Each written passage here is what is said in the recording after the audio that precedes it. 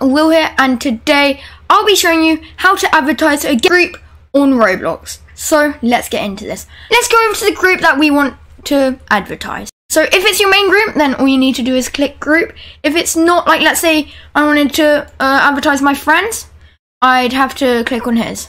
Here, I can't actually advertise it because he didn't give me permission to do it. So you will need permission to do it or to be owner. So I'm gonna click these three dots and click advertise group. Then you have a different uh then you have different sizes you can make. So there's a banner, a skyscraper, and a rectangle. So basically, you don't really need to select any of these. All you need to do is put the name of your ad and find the image. But you won't have an image, will you? So open up some sort of art. Uh, so open up some sort of art application. I will be using Photoshop.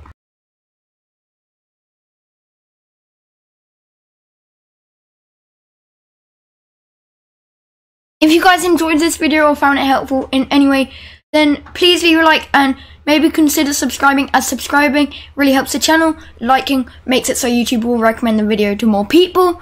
And maybe leave a comment. Also, if you want to help me and have like 8 Robux left over, you can buy any of this merch.